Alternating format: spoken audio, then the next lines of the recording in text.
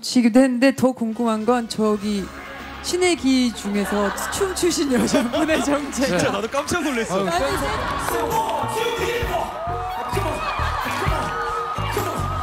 아니 댄서 어, 춤을 너무 잘 댄서분. 앉아 계신 거 아니었어요 혹시? 아니요 아니요 어, 진짜 일반 놀랐어요. 일반 신의교 놀라지 않으셨어요? 네. 아니요. 원래 웨이브 좀 하시죠? 엄청 아까 엄청 추시던데. 원래 댄서 출신이에요. 아니요. 네?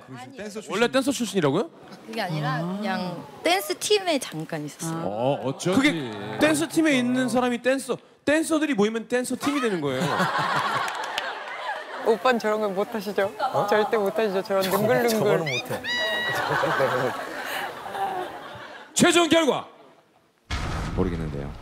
공개 주세요. 자 새롭게 해석한 핑미와 미친 거니. 과연 자 잘 들었습니다. 결과 결과는